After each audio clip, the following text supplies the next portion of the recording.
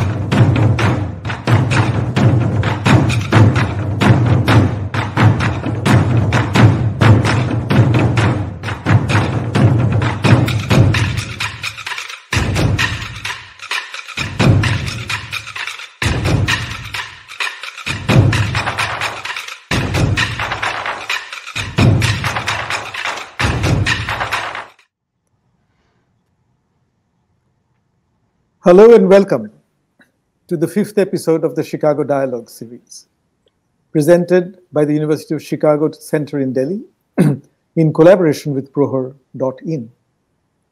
I am Dipesh Chakrabarty, a professor of history at the University of Chicago and currently the faculty director of the center in Delhi.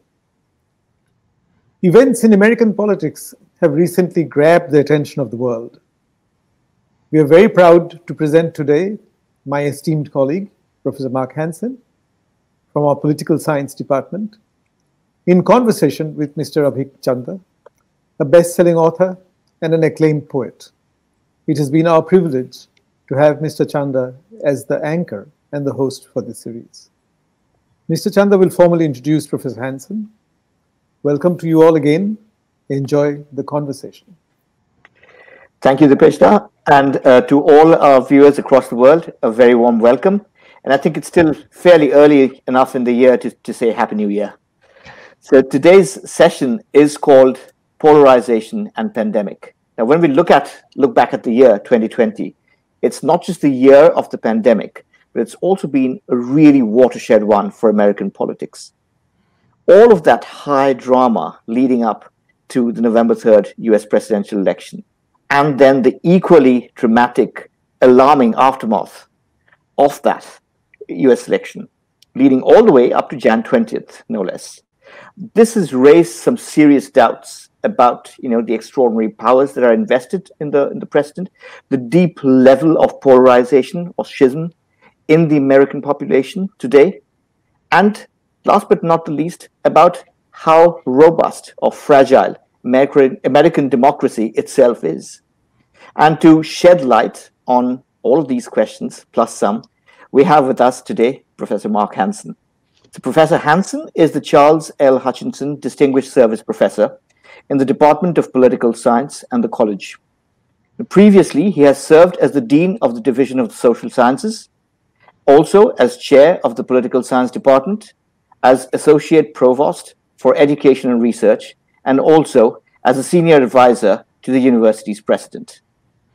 From 2016 to 2017, he was the faculty director of the university's center in Delhi. Professor Hansen's research essentially focuses on legislative politics, interest group politics, citizen activism, and public opinion. He's the author of several books, including Mobilization, Participation, and Democracy in America, which he co authored with Steven Rosenstone, and Gaining Access Congress and the Farm Lobby, 1919 through 1981. His most recent book, that was published in 2019, is called City in a Garden, a historical guide to Hyde Park and Kenwood. Professor Hansen, Mark, a very warm welcome to the show. Yes, good evening. How are you? All great. So, Mark, um, and this is something that we were talking about um, the last time when we were having a conversation, is uh, all of us, I think, including all our viewers who are watching, would definitely have been glued onto their TV sets during the inauguration on Jan 20th, right?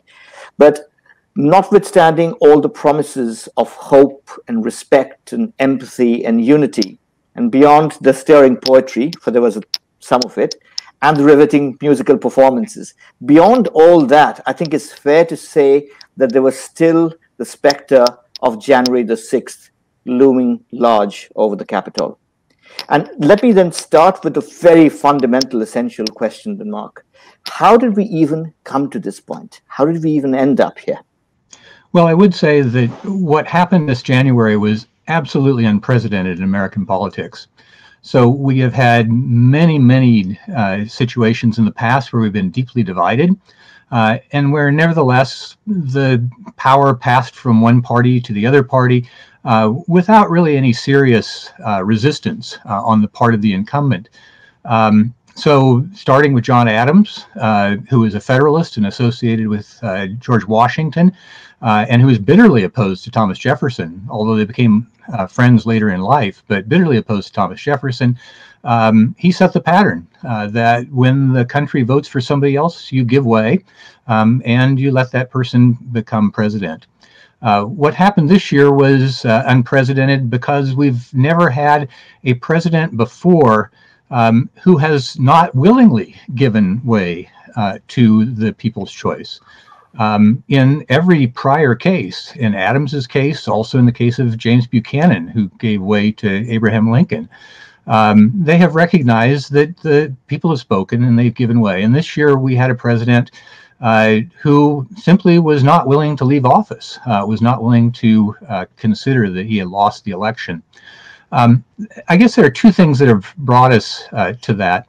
Um, one is that it's the that Donald Trump in his term has taken advantage of uh, a situation in American politics of intense polarization, of deep divisions between Republicans and Democrats, uh, mm-hmm. to the point that Republicans and Democrats um, actually think about, you know, would I be able to actually marry someone who is from the opposite party? Um, the people who said absolutely not, no way, uh, has just gone up tremendously. Um, and so Trump exploited that. Uh, he exploited that basically to wrap a bunch of Republicans around his own particular interests. Um, the second thing that we've observed is that um, just how important it has been through time to have a set of norms of democratic governance in the United States um, and had a set of leaders who have been willing to observe those norms. Um, so, what's really been tested over the last four years uh, uh, and which has been has, has raised real concerns, I think, in American politics, um, is uh, what happens when you have people who aren't willing to abide by those norms. Um, what are the things that can actually constrain them? And, the, and it turns out that um, uh, what a lot of people thought was behind those norms, namely that a president who violated them um, in the way that Trump has would be punished, um, there there is no punishment. Exactly exactly which is which is quite sort of terrifying in itself mm-hmm. um, we talked you talked about president trump refusing to acknowledge that the people have spoken right mm-hmm. and and he of course went far beyond that up until the time that twitter and facebook blocked his accounts his his own social media pages were propaganda machines. And over and above that, he has been backed by his own partisan sort of media houses. And all of this together, right, collectively have managed to influence people and really convince them, even now, you know, post the, the transition and the handover of power, that this election was rigged, that it was stolen from the uh, outgoing president, Trump, right? Uh, let's let's beyond the rhetoric, right, and beyond all the rants, if we take a step back and look at it objectively, dispassionately, and say, all right, let's assume a state like Pennsylvania. It was really rigged because this was one of the, the hugely contested states and so many different lawsuits, which of course they, they lost, the, the Trumplicans. What does it take to actually rig an election in a state as, as large and as diverse as Pennsylvania? Well, it's almost impossible. Um, so a couple days after the election, I published an op-ed in the New York Times where I went through this carefully. Uh, the original title of the op-ed was uh, "Let's Get Real About Vote Fraud," uh, and the basic point was to to commit fraud in a way that would actually uh, influence the outcome of a presidential election, not just in the nation but in the state, was just an enormous undertaking. Um, mm-hmm. So, for instance, you would have to start in advance. It's not the kind of thing you're going to throw together in a day or two. um, it's something that's going to take weeks and weeks at least, and probably months and months. Um, and so it requires a great deal of foresight, foresight uh, to know uh, where it's going to come down, uh, where, where the crucial states are going to be uh, in terms of winning the Electoral College. Um, beyond that, it, it takes a lot of votes. Um, you're not going to be able to swing it by getting your 10 best friends each to go out and vote 10 times, even if that's possible. Um, it's going to require tens of thousands of votes. Um, so uh, Pennsylvania ended up being decided by 82,000 votes. Um, uh, 1% of the 2016 election was 65,000 votes. And if you ask, well, what, what would it take to come up with 65,000 votes? Well, you're not going to get it spontaneously. There aren't going to be 65,000 people uh, who wake up and say, boy, if I voted twice, um, I could throw this election to, uh, to Joe Biden. Uh, rather, you're going to have to have an organized effort. Uh, and that organized effort is going to involve people who are willing to put themselves at risk of detection and prosecution for vote fraud. Um, and it's going to involve uh, recruiting people into the effort uh, who aren't going to squeal on you. Um, so there are lots of criminal conspiracies out there, and many of them come undone because either people want to brag about it, or people have a guilty conscience, um, or because you contact the wrong people and they don't want to participate at all. Um, and so it, would just take an enormous uh, amount of effort. Um, you'd have to have dozens of people coordinating this effort, um, and they would have to be coordinating the efforts of thousands of people. Um, and so it's it's an undertaking that just uh, isn't worth it. Uh, as the numbers go up, the probability of detection goes up. Uh, and as the mm-hmm. numbers go up uh, and as the stakes go up in a presidential election, the probability that you'll actually be prosecuted um, and sent to prison for participating in such a thing go up as well. Right. Okay. And and here they were talking about this across what more than half a dozen of the states, right? That they'd probably done this. That was the yeah. allegation. Right? It was not just Pennsylvania. Pennsylvania was one of those, but that wasn't clearly Georgia being another one, of course, right? Oh, oh yes, yes. Um, uh, the, the closest states ended up being Georgia, uh, Arizona, um, and the um, and Nevada, and and then the uh, Nebraska congressional district where there was a single vote. So those three states changing would have changed the outcome of the election. Um, but of course, you don't know that in advance, um, and the larger the number of states where you're trying to actually influence the election, the greater the risks and the greater the uh, extent of the effort. Mm-hmm. When we when we're talking about, let's say, the art or rather the science of prediction, right? The the pollsters, there was widespread criticism that in 2016, um, pretty much all the pollsters had got it wrong. Now, this time around in 2020, the pollsters had predicted an upset, and the, they had predicted that Joe Biden was going to you know had a very very reasonable chance of winning, which is what turned out to be true. So does that mean that the that you know maybe the predictive power or the capability has become better, or you know how how do you look at it? The polls are always uh, fallible, shall we say, um, and they, they're honest about that in the sense that when a poll is reported, there's usually a, a margin of error that's reported. Um, and so it's it's a snapshot, yes, uh, but it's a snapshot that says, well, the current state of affairs is this, um, but it could be as much as this, or it could be as little as this. Um, you know, there's always uh, error in in polling, um, and so the best of the organizations that look at the polls are ones that average the polls in some way um, to try to get a greater sense of certainty uh, by aggregating a bunch of different polls, and in that way, essentially getting a larger sample size, uh, mm-hmm. if you will. Um, and so, uh, aggregators like 538.com, uh, which actually weights the polls by uh, previous uh, accuracy. Um, and then um, even Real Clear Politics, their poll averages are, are simple arithmetic averages of the different polls, uh, I assume weighted by sample size. Um, this year, the polls, yes, did better. They anticipated Joe Biden's victory. Um, but I think almost uniformly, the polls underestimated the support for the Republicans. Um, so the final polls uh, had Joe Biden with a much greater margin that he ended up winning by. Um, it was somewhere in the neighborhood of six or seven percent. Uh, he ended up winning by about four and a half percent. Uh, and even in the congressional races, where there are a number of races that were considered toss-ups, uh, those turned out to be not very close at all. Uh, and so the Republicans did better in the down ballot races than anticipated, and even Trump did a little better than anticipated. Um, so the problem when you're a pollster, there are kind of three problems. Um, one is that there, in fact, can be last-minute movements in the polls. There, there can be people who change their minds either in terms of which candidate they're going to support, which I think was unlikely in this year, um, but more importantly, they change their uh, decisions about whether they're going to turn out to vote or not.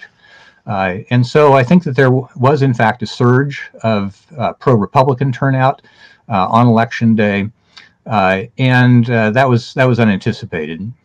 So um, one of the ways that pollsters try to deal with this uncertainty is by weighting their polls uh, so that they get likely voters. So there's a so-called likely voter screen, uh, which is several questions that they ask uh, to get a sense of whether people are very likely to turn out or not. And then they weight the, the poll results by how likely people are to turn out.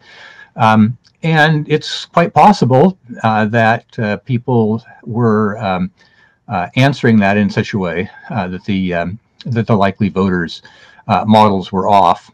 Um, the other thing that seems to have entered into the poll results, and I know this from a study that was done at NORC at the University of Chicago, which is our uh, affiliated uh, national polling organization, uh, it seems that there were a group of people this year uh, who simply refused to participate in polls.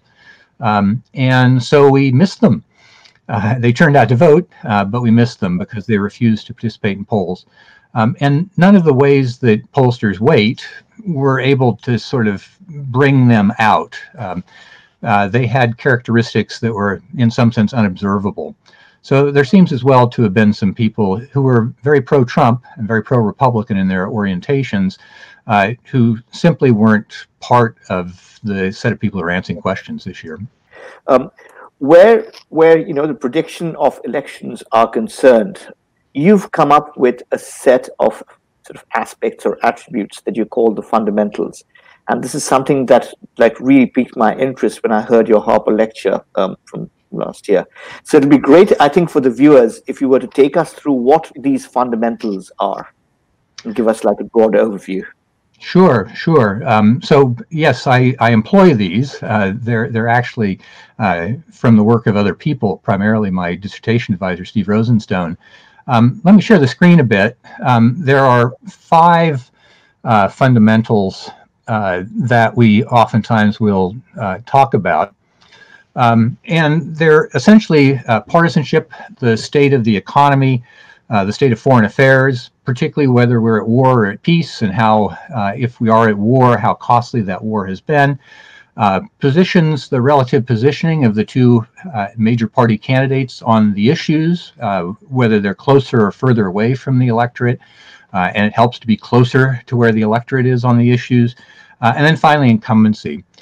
so let me give you a sense of about three of those, and we'll come back and talk about some of them later. The first of those is partisanship. So one of the things that is very influential in the vote decisions that Americans make in elections is whether they consider themselves to be Republicans or Democrats. Uh, and it turns out that a very large share of the American public has some kind of partisanship uh, when when you actually push on it. So uh, a plurality of people, around 40%, 35 or 40%, when you ask the question about their partisan affiliation, will say that they're independents. But then if you actually push them, it turns out that two thirds of them will say, well, I lean to the Republican Party or I lean to the Democratic Party. And they, they do, in fact, seem to uh, behave as partisans do, uh, but as partisans who have a kind of weaker attachment to the party.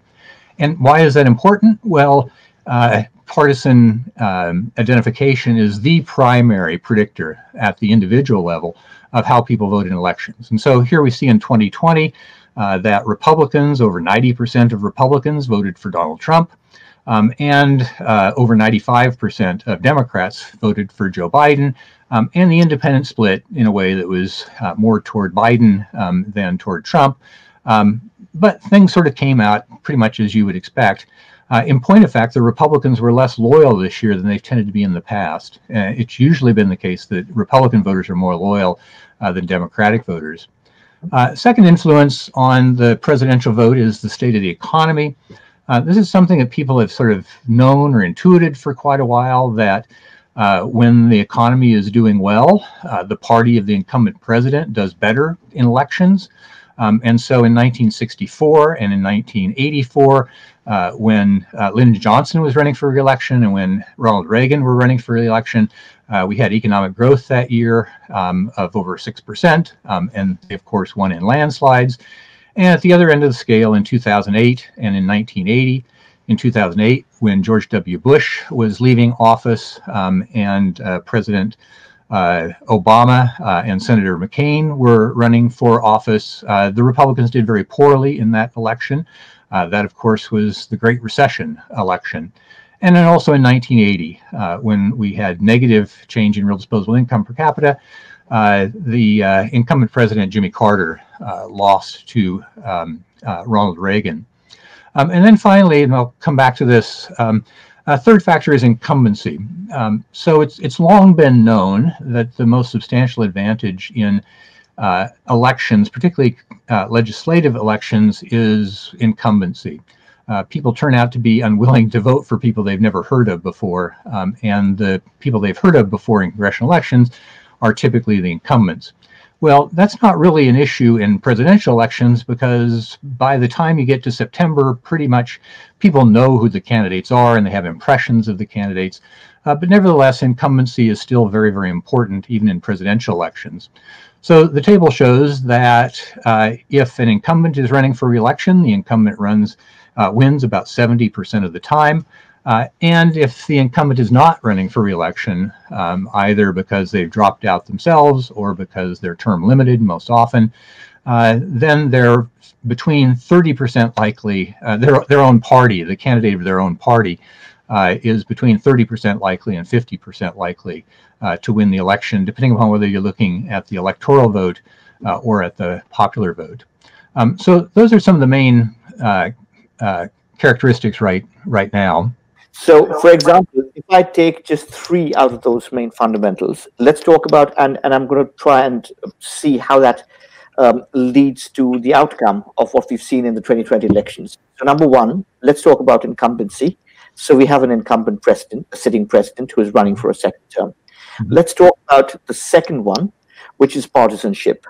And this deep sense of partisanship definitely within the Republican family to the extent that uh, a lot of the, the detractors and, and sort of critical analysts have started to call the Republican family uh, party the, the Trumplican party, even after his, you know, his, his moving away from power. Now, juxtaposed against these two is, let's say, the state of the economy. Now, Jan 2020 was perhaps in recent history, purely in terms of the economic indicators, one of the best times in recent sort of years, right? When at least uh, just going by the macroeconomic indicators, overall unemployment rate was very low, uh, healthy trade balance, nice growth, you know, lots of jobs going around, etc. Right now, come September, October, November, as the pandemic deepened, became a completely different story. Right. So, what I'm trying to understand is is there any way we can really predict or we can say that, all right, even if you have two or three out of all the fundamentals which are supporting a particular outcome, something like the state of the economy is in itself enough to derail that combined sort of effect of the fundamentals? Um, yeah, they work. They, they, work in some respects um, in conjunction with each other. Uh, incumbency is particularly interesting because, on the one hand, it is an advantage to be running as an incumbent. On the other hand, um, it's the incumbent's performance that is really being evaluated in these elections. And so um, Trump, uh, as the uh, head of the party in charge of government, as the person who's in charge of government, uh, stood to benefit uh, from a strong economy um, and then was really hurt by a weaker economy. Um, I'm going to share my screen again because uh, 2020 turned out to be a particularly difficult year uh, to get a bead on uh, in terms of making predictions. So I'm going to go back to sharing the screen um, and um, say a little bit about that. Um, so in, in terms of the economy, uh, the big problem wasn't kind of having a sense of the way in which the economy was likely to affect the uh, presidential uh, uh, reelection prospects for Donald Trump, the problem was figuring out well, what is the actual state of the economy? Um, so once the pandemic began, it was clear that it was going to be a big impediment on economic growth. Um, and in fact, economic growth for uh, 2020 uh, will probably turn out to be negative. Um, so we'll have negative GNP growth. On the other hand, what really seems to influence people's decisions is less how the overall economy is doing and, more how the economy as it affects their own finances is doing. Um, and so if you look at the, uh, the uh, horizontal axis on this graph, you'll see that the variable here is change in real disposable income per capita. So, so that's basically a measure of people's uh, buying power, if you will, or how much money they have in their pockets.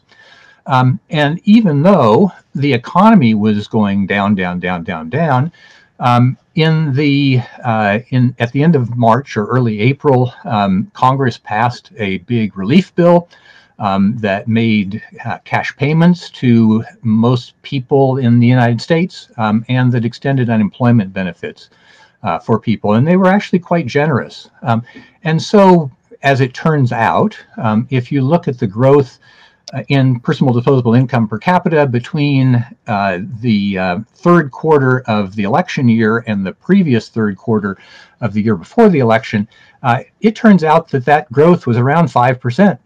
Um, and 5% growth works out really, really well for the president. Um, and so, you know, the economy from the standpoint of the fundamentals uh, worked out uh, a little better. Um, I think it was more of a plus than one might have anticipated uh, for the, the president, and he, and he lost nevertheless. Um, on the other hand, um, I've said as well something about the uh, importance of a fundamental, which is the state of foreign affairs, uh, and particularly war casualties, um, seem to have a very strong effect on presidential elections. Um, my favorite example of this is in World War II. Um, so the Japanese bombed Pearl Harbor on um, uh, in uh, December of 1941. Uh, in the following midterm election, which was in November of 1942, uh, almost exactly 11 months later, uh, the Democrats lost over 50 seats in the House of Representatives and lost about a half dozen Senate seats uh, as well. So, so even in this really, really popular war that we had to go into, uh, it was costly for the party of the president, Franklin Roosevelt at the time. Um, and there's evidence that indicates that in terms of the way that the American public sort of responded to the um, actual cost of COVID, um, that uh, they reacted in ways that were very similar to the way that they've reacted in the past uh, to our involvement uh, in wars. Um, and so the uh, president's management of the disease, but but even more so, just the cost of the disease, uh, I think were very very uh, costly for Donald Trump. Um, and as you can see on a year on year basis, um, the, uh, uh, the, the casualties uh, from COVID uh, outstrip um, any of the wars that the United States uh, has fought before. Uh, and so that was a major difference as well. Um, the president is held responsible for what happens on his watch, whether the president's able to influence it or not. Uh, the pre president benefits when that has been a good outcome, um, and the president uh, uh, is uh, is hurt um, by the performance that isn't up to, to snuff. I'm going to indulge in a little bit of speculation here. Um, let's let's assume for a second, right, um, that back in the summer, when the initial bills were passed for you know the unemployment benefits to sort of bolster the economy, let's assume for a second that what Trump did in the dying days of his presidency, he was able to do that in the back end of summer, namely, uh, push back to, to Congress, to, to both houses, saying, all right, $600 per person is too little. It should be $2,000. Now, and a, and a lot of this is posturing, and a lot of this is perception, a lot of this is packaging, which takes time for it to be actually implemented and to reach the benefits on the ground. Having understood that, if he had made these kind of remarks in, in through July and, and September, like the worst time that the pandemic was like really deepening across the country, right? And you could see, you know, week after week, and the map would show red, which means the number of cases has, has risen over the past week or over the past month. Had he made those kind of statements, those kind of like, you know, thump the table and say, you have to give 2,000 people to every single citizen, would that have made a material difference, even considering all the, the, the costs of war? Um, well, it, it would have made a difference if it had been successful. Um, so the big economic uh, impact of these uh, relief payments or stimulus payments, whatever you want to call them, occurred in the second quarter. Um, so most people were receiving checks at the beginning of June, which is the end of the second quarter.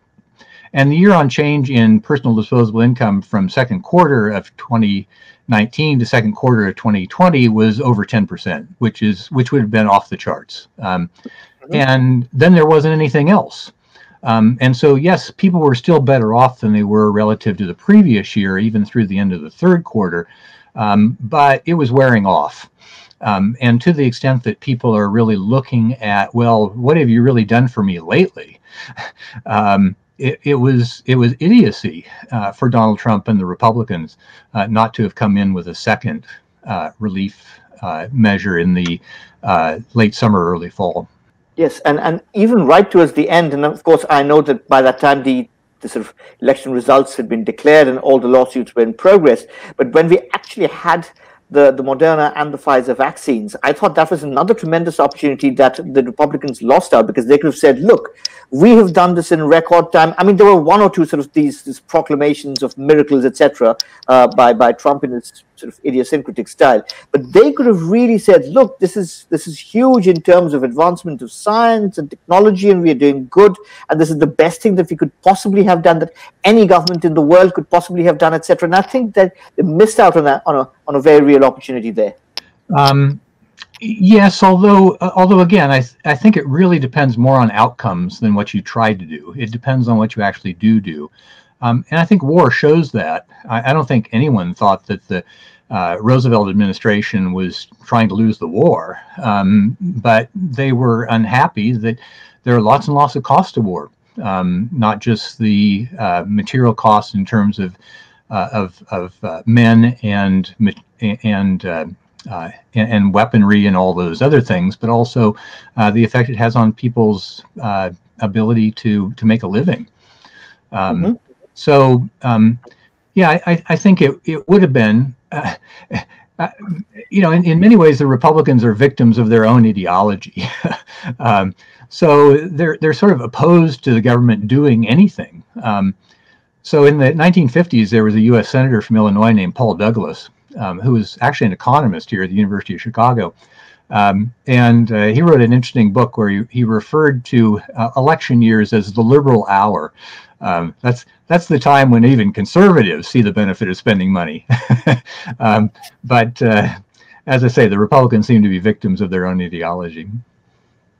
Right. right. Um, and it's interesting when you're talking about war um, and, talking about the Second World War. Um, and I never really quite thought of it that way, but now that you mention it, on paper, right, the, the British Empire won the war and, and Churchill was the big hero. But because of the enormous cost to human life and the economy, uh, Churchill was booted out unceremoniously, and, and Labour was in soon after you know the Second World War ended. Even though they were the victors, they were the winners. Yeah. So yeah. Right. And uh, and and Churchill might have been booted out during the war if they'd continued to have parliamentary elections during the war, but they'd agreed on a moratorium on the right. on the right. parliamentary elections, and so he served longer than the five years that is the typical length, uh, maximum length of term. Right, indeed, exactly. Mm-hmm. If we come back to to the fundamentals again, right? Um, what you've what we've discussed is all of this is in the context of the presidential election. Mm-hmm. Now let's take those same fundamentals and look at the the Georgia, the two very crucial runoffs in Georgia that we had shortly after the election in, in Jan, and which of course um, both went the, the Democrats' way. Would those same fundamentals kind of hold? Uh, they do, but in a, in in a in an interesting way. It requires a little bit of explanation. Um, we, have had uh, a lot of evidence, uh, and in fact, this whole line of research looking at the relationship between the state of the economy and election outcomes actually began um, by an influential paper from the 1970s uh, on U.S. House elections uh, and showing that there's a very strong relationship between the state of the economy during congressional election years um, in every two years uh, and the and the state of the economy. Uh, but the way it worked, it it wasn't it it it had to do with um, midterm elections, uh, congressional elections being a uh, referendum not on the performance of the specific representative, but a referendum on the performance of the president. Uh, and so, yes, um, I think we saw that in Georgia this year as well, that uh, the same sorts of factors that led Georgia uh, to go Democratic for the first time since 1992, uh, that um, those same factors also weighed in the senatorial elections. Um, that um, the the the kind of dissatisfaction that there was with with Donald Trump also translated into dissatisfaction with down ballot um, candidates as well. Um, and I think we, you know, that th- there were there were other things going on in Georgia as well. Um, most importantly, an extraordinary mobilization of African American voters um, that was related to uh, Stacey Abrams uh, and uh, her failed campaign for governor in 2018, uh, and the way that she came back with that, uh, basically saying, "Well, um, you know, you're going to try to suppress our vote. We're going to get that vote out," uh, and it was enormously successful, um, both in electing the first African American senator from Georgia um, and the first Jewish senator from Georgia.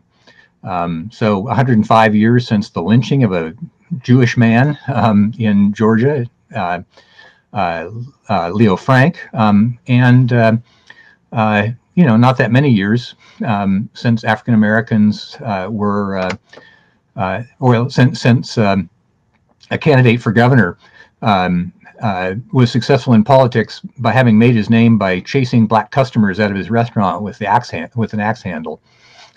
That was Lester Maddox. Slightly tangential question. Um, to what extent did race play a part, and to what extent do we, you know, are we in the danger of making oversimplifications? So, for example, if you were to think that, you know, the, the Hispanic population is monolithic across the economy, right, and across the, the populace, would that be a mistake? Uh, well, there there has always been a racial there. I, I should say there's long been a racial divide uh, mm-hmm. in voting in the United States. Um, uh, it it uh, and it goes way back. Um, so white voters since the 1970s um, have typically given um, a majority of their vote uh, to the Republican nominee. Uh, and in fact, the high point for the Democratic vote among white voters uh, was about 45, 46%. Um, uh, so, um, and that was Bill Clinton, uh, a Southern uh, candidate in 1992. Um, so the you know the, the, whites have tended to be more Republican in their in their voting, and that goes way back. African Americans have been overwhelmingly Democratic uh, in their voting since 1964. Uh, but even before that, they were very heavily uh, oriented toward the Democratic Party after having spent almost a century as the real core of the Republican Party. Um, so great changes um, over the course of the mid 20th century uh, in African American uh, support for the two parties. And then finally, Latinos, um, since the 1970s, since we've had exit poll results to look at this, uh, Latinos have typically given somewhere between 60 and 65 percent of their vote to the Democrats. Uh, and that's pretty much what we saw again this year, uh, despite there being some movement of Latinos, particularly Cubans, um, mm-hmm. back toward the Republicans, uh, particularly in Florida. Um, that was offset by a movement of Latinos in states like Arizona and Nevada uh, toward the Democrats. Um, so overall, the uh, the Hispanic vote looked about the same as it had in the immediate past. So yes, there's there has been a kind of racial polarization of voting, um, and as I say, that goes back uh, a long way. Um, what was different about Trump was that he was open about it. Uh, he was open in trying to exploit those racial uh, tensions uh, in a partisan way, uh, whereas before it was always um, talked about as dog whistles, uh, ways of talking about race without obviously talking about race. Well, Trump Trump obviously talked about race. Interesting sort of thing that you pointed out about the, the Hispanic population. So if you compare, let's say Nevada, which uh, you know voted almost overwhelmingly in favor of the Democrats, and you juxtapose that against what happened in Florida, it mm-hmm. seems to me that a fair amount of, of course, which was you know um, used to the hilt by the propaganda machine, uh, Trump in this case, uh, a lot of it seemed to have been born out of sort of ideological preconceived notions, right? So, so people who've had you know experience with with the Cuban sort of uh, the failed project of with communism, it was easier to convince them that all right, if you're talking about Joe Biden, he's actually a communist, he's not Democrat at all. He's he's you know ultra far left, partisan left, etc. Therefore, do not vote for him. You're going to have the same thing that you had in Cuba, um, as opposed to other states where, even though it was Hispanic primarily, they didn't have this sort of legacy of, of the Cuban experience. Uh, that's right. That's right. The, the Cubans have always stood out among Latino voters uh, as being uh, particularly um, supportive of the Republican Party. And as you say, a lot of that has been that many of them were exiles from Castro's Cuba. Uh, mm-hmm. And they were attracted by what they took to be the strong anti communist position of the Republican Party. Um, interestingly enough, there's a similar difference among uh, Asian American voters who have been lately very, very supportive of Democratic candidates, uh, even to a greater extent in 2000 and uh, 12 and 2016 than Latino voters have been supportive of Democrats. Um, but historically, the most Republican Asian American voting group has been Vietnamese. Um, so it's been uh, Vietnamese exiles, people who were forced out of South Vietnam when the regime fell uh, right. in 1975. Um. That's changing. It's also changing among Cubans. Um, younger Cubans have a more favorable orientation toward the Democratic Party, and young Vietnamese Americans have uh, a more favorable orientation to the Democratic Party than their elders. Um, but uh, it still remains, they still remain uh, a more Republican voting bloc. Right. And, and let's now do a, a, bit of a thought experiment, if we will, right? Let's, let's take the fundamentals that you've articulated and take it not to a Georgia runoff, but beyond borders altogether, right? And let's uh, mm-hmm. consider, let's say, the, the upcoming general elections uh, in India in 2024, right? Mm-hmm. And let, us try and transpose um, the the fundamentals. So you you have here an incumbent premier or or prime minister in this case. Um, there's deep partisanship, which mm-hmm. is fair to say that that is going to remain over the next you know three or four years. Let's assume also um, that the state of the economy is kosher, you know, more or less good, um, you know, better than what we have right now, which isn't, isn't bad at all. And last but not the least, let's also assume um, that we are not at war, right? That that there is some kind of a resolution or disputation of the long-standing Indochina standoff, or you know, across the border, or with Pakistan, or with others, right? If we if we assume, let's make these three or four very strong assumptions, um, what would that predict? What would that sort of predicate for the 2024 outcome, given your model? Well, I, I think it would say that uh, that uh, the BJP is in a very strong position to uh, be returned to power. Um, you know, we there, there has been work on similar kinds of voting models in other polities, um, and it does seem to travel. Um, and I, I think even beyond the uh, empirical work that has been been done in this respect, a lot of which has been done in uh, mature um, industrial democracies, uh, United States, Western Europe, um, Japan, and so forth. Um, there seem to be similar kinds of influences on the outcomes of national elections. Um, even beyond that, though, I I think uh, in many many countries um, you know, it's pretty well known that uh, incumbents uh, will benefit from better economic conditions. Uh, mm-hmm. And in countries where it's possible to do so, they'll take steps to make sure that their economic conditions are favorable to their reelection. Um, either by choosing the time to contest elections. Um, in, in, Britain, of course, uh, they're scheduled whenever the uh, the prime minister declares them uh, up up to five years. Um, uh, and so there's been a tendency, basically, if the economy is going great, you call an election. Um, and if the economy is going poorly, you hope that the, that the economy will improve by the time you have to have an election. Um, so, so I think that there's um, uh, you know, a fair bit of evidence um, that uh, this is that these are ideas that travel. Right, and and what we've seen in India is is typically over a five year term.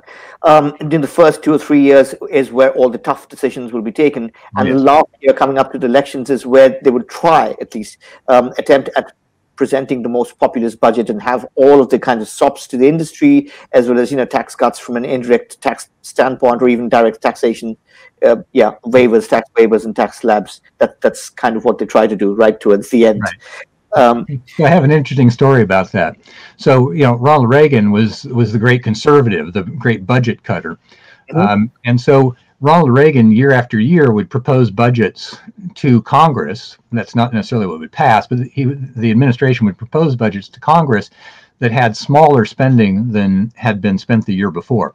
The exception was the budget that they introduced in 1983 for 1984, where they actually proposed an increase in spending relative to what had been done in the previous year.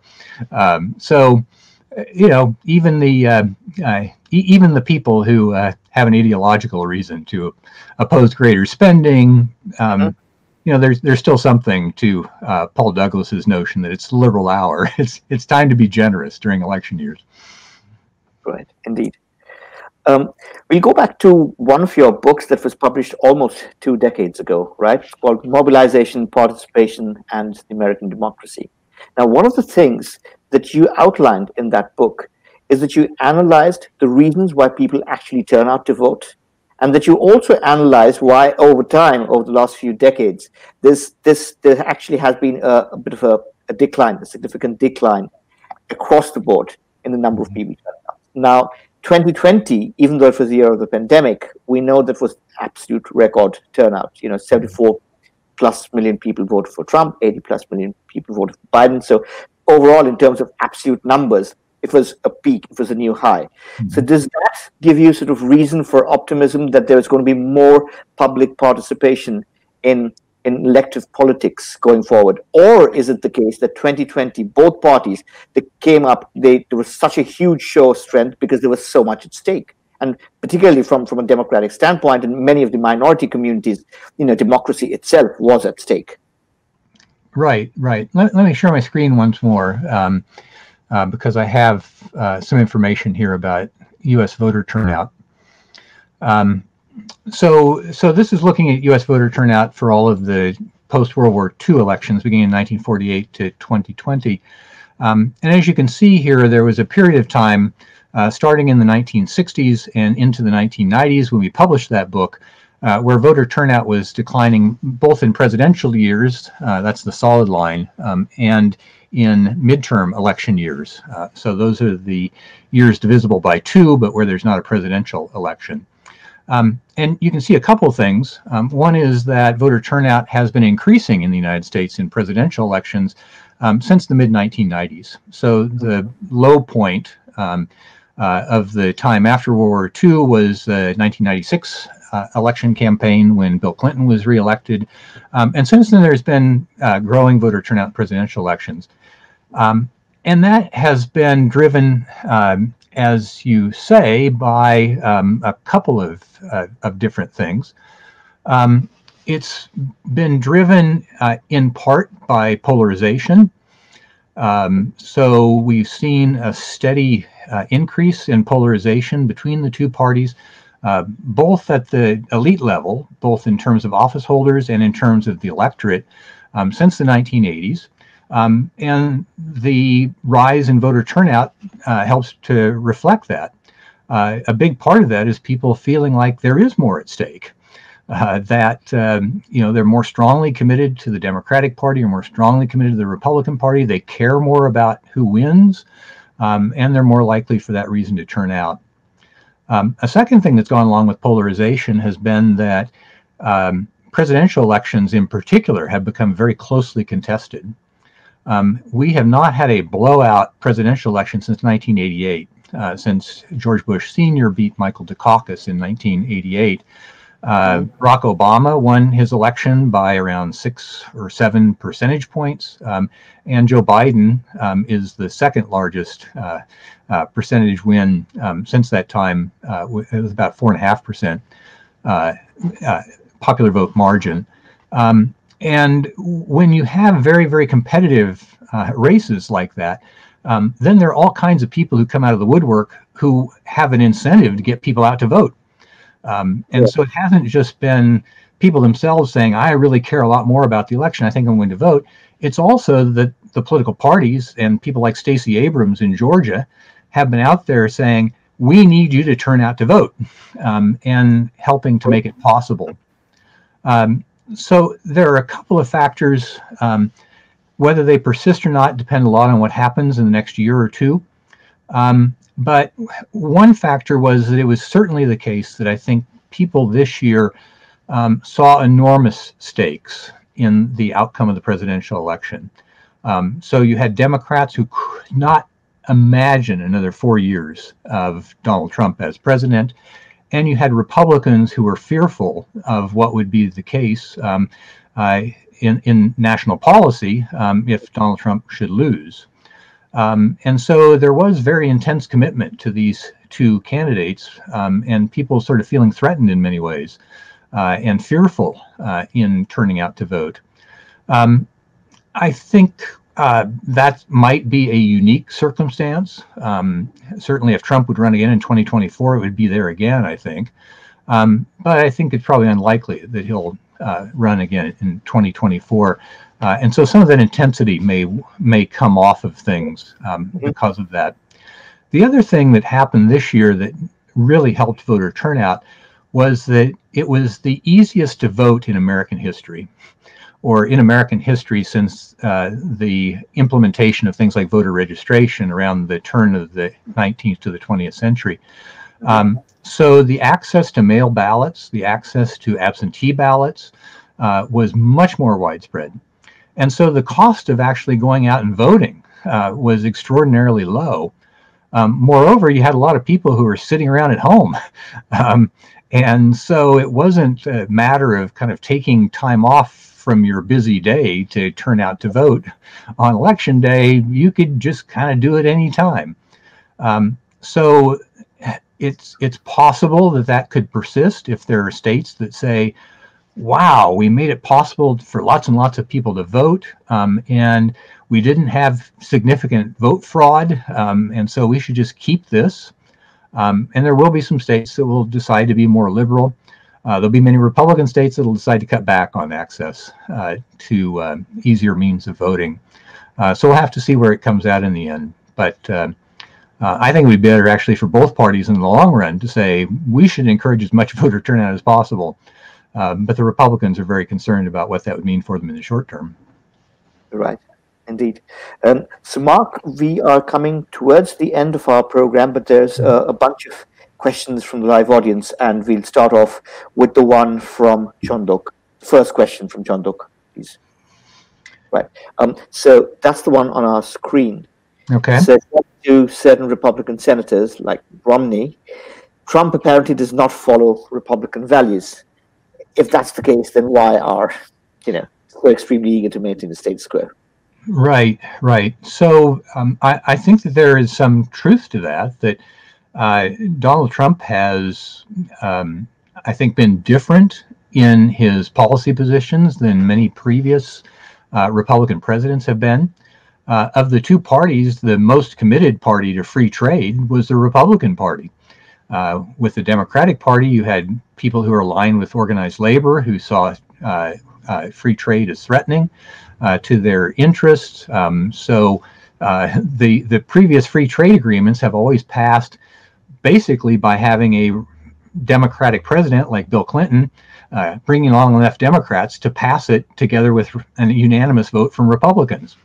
Um, so Donald Trump turned his back on something that had been a core um, principle of the Republican Party since Second World War, uh, which was free trade. Um, immigration has uh, long divided the Republican Party, uh, but there is a very strong uh, pro immigration constituency within the Republican Party, which is from the business community. And so part of what we're seeing in the announcements in the last couple of weeks on the part of traditionally Republican donors like the National Association of Manufacturers, the United States Chamber of Commerce, many business firms, in saying we're going to punish the people who supported Trump um, in this attempt to steal the election. Part of that is the business community saying we have to take back the party, um, which means we have to isolate uh, Trump uh, within the party. And then the third thing where Trump was completely different um, is that uh, the way in which he cozied up to the Russians.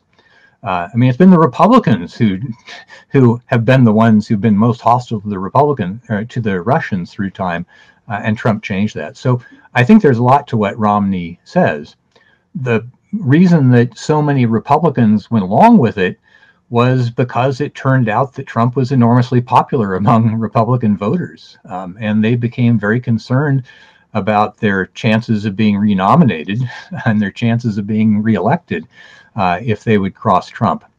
And there were some early things that happened where the people who were most critical of Donald Trump uh, ended up deciding that they wouldn't run for reelection. Uh, Bob Corker from Tennessee, um, uh, Jeff Flake from Arizona, uh, who decided they couldn't win renomination uh, because they had been so critical of Donald Trump.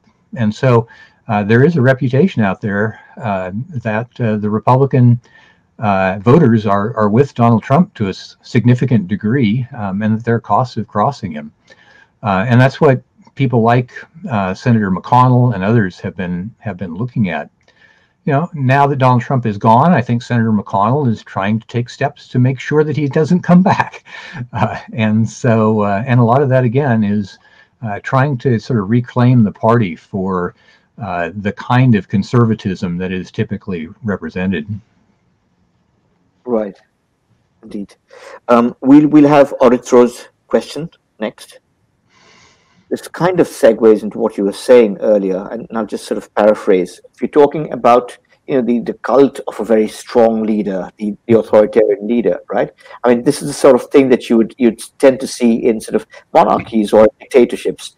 But here you have a scenario where that was pretty much for his entire support base the case for Trump, and even now, after he's you know sort of gone off from, from power, and uh, and I think it's fair to say that across the world that there are other democracies where you see this sort of closely paralleled. Um, do you think this is like a one-off scenario, or it's purely in coincidental, or is this a new trend that we might see for some time, even across democracies? Well, I think the Trump phenomenon is part of a common phenomenon across Western democracies. Um, we've seen similar things happen in Western Europe. Um, we've seen it happen a lot in Eastern Europe, uh, in those uh, countries that uh, were communist up until the 1980s. Um, we've we've seen it happen as well. Um, one of the kind of harbingers of Trump's success in 2016 was the Brexit vote um, in Britain in 2015. Um, and the you know uh, Boris Johnson becoming prime minister and and so forth. Um, so there does seem to be a uh, kind of wave of dissatisfaction with uh, traditional leadership. Um, mm-hmm. In that case, you know the Brexit campaign was allowed by the incumbent conservative Tory um, uh, Prime Minister David Cameron um, but it was he sort of felt forced into it uh, because there were elements within the Conservative Party, but more broadly within British politics, with UKIP, the um, the um, Independence Party, um, uh, the kind of pro-English uh, Independence Party, um, and and other elements, uh, really wanting to pull back from Europe. Uh, and so, yes, this is part of a broader populism. Uh, what kind of legs is it going to have? Um, I actually think we've probably seen the high crest of it, okay. uh, and that things are probably moving in the direction. Um, the um, uh, in in part because there have been some really horrible things that have occurred uh, in those countries that have had long democratic traditions. I think they'll probably come through it pretty well. Um, so, in the end, I think things will right themselves in Britain um, and in the United States. Um, but there are places like Turkey and Hungary which don't have long um, uh, democratic traditions uh, that. Uh, that may well, as a result of this, have made institutional changes in such a way that this will be uh, kind of the new normal for politics in those countries. We've just come up to stoppage time, but we'll take a final question. Uh, let's have Shomiran's question. Um, it's a short one, but I think a fairly significant one. And and this is one of the questions that's been um, quite uh, you know, sort of the topic of debate and discourse, right? Given the the problems that we've seen, and given that you know uh, there were there were Trumplicans who said that look, you know, in, in contesting elections and in having lawsuit after lawsuit and, and, and you know, going back to GA and, and putting pressure on the individual states and the administrators in the individual states, he is well within his rights. You know, he is mm-hmm. acting out his constitutional powers. Nobody else has previous to him, and he's doing that, but he's not doing something that's illegal, right? Has that entire sort of harrowing experience of, of you know court battles and litigations and, and losses and sort of all that propaganda, very very negative sort of rabid propaganda, um, really spawned the need to have deep reforms in, in the elections themselves, in the mechanism itself. I guess I'd say two things. One is that uh, we've reached a point because of the pandemic where election reform has been tried and it turns out that it succeeded. Um, and in that I mean election reform that made it easier to vote. Um, so this outcome is actually an enormous embarrassment to the Republican Party and a threat to the Republican Party um, in its strategy to try to win elections by keeping people from voting, uh, by suppressing the vote. Um, so most of the talk about election reform is actually being from Republicans saying that we need to get tough again. Um, um, but you know the kind of the venality, if you will, um, of that position has been exposed. Uh, we just had a in, an enormous increase in voter turnout, uh, largest voter turnout since 1900 in the United States, um, and basically no fraud right? Not only did no secretaries of state say, yes, there are serious chances that we had fraud, there are 90 U.S. attorneys, all of them appointed by Donald Trump, who can prosecute vote fraud in federal elections, and they haven't done a darn thing. Uh, the only person, the only indictments that have been brought forward were for a Pennsylvania man who voted an absentee ballot on behalf of his dead mother for Donald Trump. Um, so you know, we had an extraordinary clean election um, and um, and and very successful implementation of vote reforms. Um, unfortunately, the most consequential vote reform, the most important vote reform, would be in my book to get rid of the electoral college. Um, this was not a close election. Four and a half percentage points, not a close election, but it was close because a change in about sixty thousand votes in the right states uh, yeah. and the second congressional district in Nebraska, uh, mm-hmm. would have changed the outcome of the presidential election in the electoral college. Yes. Um, so you know that kind of electoral reform would be really terrific because it would force the Republicans to try to win the vote nationally. Um, and what Donald Trump showed is that you can, in fact, adopt a strategy just to win, you know, enough states to win in the electoral college. Um, mm-hmm but that has no serious prospects of occurring. Um, the, uh, the, the chances of a constitutional amendment are quite slim, uh, and the proposal to do a kind of national popular vote compact, where a sufficient number of states would pledge uh, that they would uh, instruct their electoral um, uh, college delegates, uh, their electors, to vote for the winner of the national popular vote um, that seems to have stalled out. Um, it's uh, there are they're they're still well short of majority of uh, of states with a majority electoral vote. So I don't think we're likely to see that. I think we are that there will be some attempt to uh, try to um, learn from this election um, and learn from previous elections, mm-hmm. and perhaps to promulgate uh, kind of model election codes um, uh, to the different states. Um, But um, as I say, I think the most important electoral reform is just beyond reach. Right. Um, Mark, it's been absolutely fascinating talking to you. Um, and you. I, for one, have definitely gained more insights. I mean, it's one thing to to be able to follow CNN and just just follow them because you're following them as as kind of narratives, as anecdotes, as you know, as stories. But once you're equipped with the fundamentals and the data, and also the the interrelationship between the between the data, right? The relative strengths and weaknesses of what can override what, right? In terms of these permutations and combinations that you articulated, you know, gives a much deeper perspective into the understanding of elections in general, not just the US presidential elections, but elections in, in general. So it's been fascinating. And I'm sure the viewers have also had a large number of takeaways um, at their end. Um, with that, we we sort of come to the conclusion of this episode. We'll be back again. Um, I'm not going to announce it, but it's it's a big big surprise. Um, our our guest in February when we when we're back for the next session. Until then, stay safe, stay happy, and thank you. Good night. You. Bye. Bye for now.